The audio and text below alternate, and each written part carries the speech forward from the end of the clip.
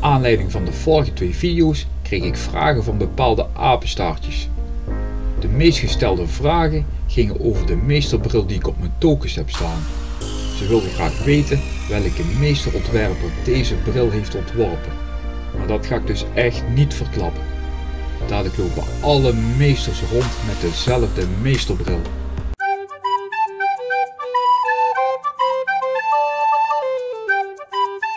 Maar ik kreeg ook andere vragen.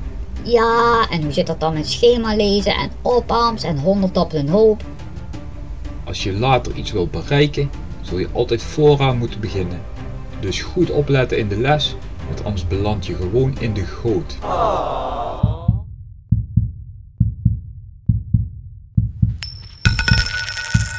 Vandaag laat ik je zien hoe je eenheden eenvoudiger kunt benoemen. En daarna helaas weer een stukje pittige natuurkunde. En op het eind laat ik je een klein praktisch voorbeeld zien hoe je dit onder andere kunt gebruiken. Spanningen in de elektronica kunnen veel verschillen. Er komen spanningen voor die veel groter, maar ook kleiner kunnen zijn dan 1 volt. De beeldbuis van een ouderwetse televisie werkt bijvoorbeeld met spanningen van wel 15.000 volt. Bij zulke hoge spanningen gebruiken we voor eenheden van 1000 volt de afkorting 1 kV. In plaats van 15.000 volt schrijven we dus 15 kV. Bij zeer kleine spanningen wordt het duizendste deel van 1 volt 1 millivolt genoemd, afgekort MV. Maar we hebben nog kleinere spanningen, het miljoenste deel van een volt. Dat noemen we een microvolt. Hier alles nog even op een rijtje. 1 kilovolt is 1000 volt, 1 volt is 1000 millivolt, is 1 miljoen microvolt en 1 millivolt is 1000 microvolt. Deze noteringen zul je overal in de elektronica tegenkomen. Voor stroom hebben we dus 1 ampère is 1000 milliampère is 1 miljoen microampère en 1 milliampère is 1000 microampère. Maar ook voor eenheden die je later nog tegen zult komen, zoals vermogen, weerstand en capaciteit is deze notering belangrijk om te begrijpen. En nu zoals beloofd nog een stukje natuurkunde. In het dagelijks gebruik wordt bij elektronica vaak de term vermogen gebruikt. Bijvoorbeeld het vermogen van mijn adapter is 45 watt. Maar wat is watt? Van spanning en stroom is het een klein stapje naar vermogen. Vermogen is namelijk het product van spanning en stroom. Het vermogen P is U maal I. Hierin is P de letter voor de grootheid vermogen en de eenheid van vermogen is watt.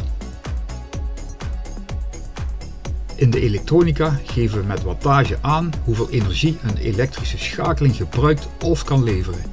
1 watt is de hoeveelheid energie welke in 1 seconde geleverd kan worden. Maar wat is nu energie? In de natuurkunde ook wel arbeid genoemd.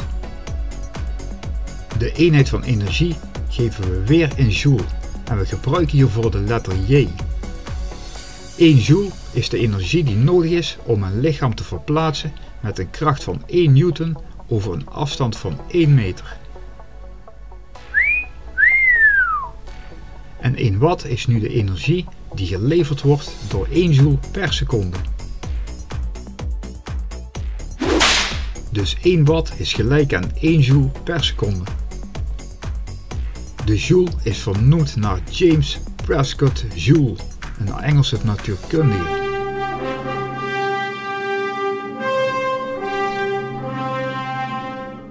Een stofzuiger van 1000 watt gebruikt dus elke seconde 1000 joule.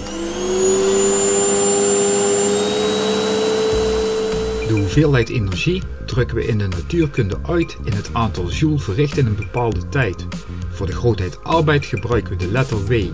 Deze kunnen we berekenen met W is P maal T.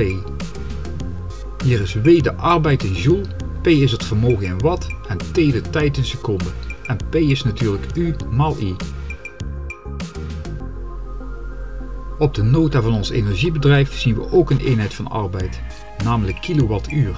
We kunnen nu eenvoudig berekenen hoeveel joules het verbruik is. 1 kilowattuur is 1000 watt maal 3600 seconden, is dus 3,6 maal 10 tot de 6 joule. En nu nog even een praktisch voorbeeld. We hebben hier een miniatuur LED-module waar we een geschikte voedingsadapter voor zoeken. De werkspanning is 12 volt en Imax is 800 mA. We kunnen nu eenvoudig het maximaal verbruikte vermogen berekenen van deze schakeling met P is U mal I. De spanning U is 12 volt, de stroom is maximaal 800 mA, dus 0,8 ampère. Wanneer we nu de gegevens invullen, krijgen we P is 12 x 0,8 is 9,6 watt.